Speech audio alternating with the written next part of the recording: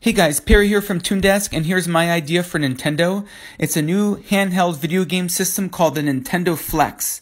Okay, so basically, you know, foldable screens are becoming a thing. You have the Samsung Galaxy Fold and so forth.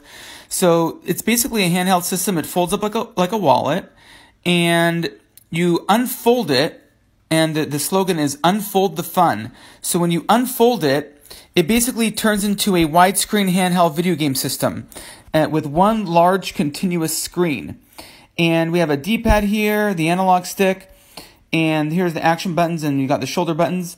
On the bottom, it shows that, you know, it uses these little cartridges, and there's a built-in stylus. A stylus is useful because, you know, which would be great for like certain drawing applications, was very useful on the 3DS. And also Nintendo would, would release every N64 game on it. And when you're done playing, you just fold it back up.